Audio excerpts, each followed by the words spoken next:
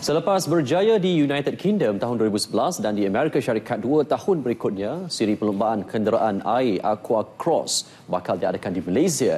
Ini menjadikan Malaysia sebagai negara pertama di Asia dipilih sebagai tuan rumah.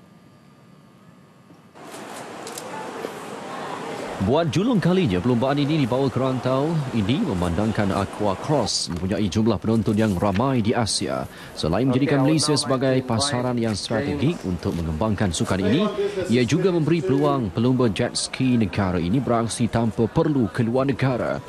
We're really excited to be launching here in Malaysia as our first Asian event.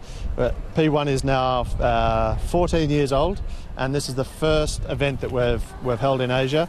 And strategically, Malaysia is the perfect location for us. They have a great passion for sport.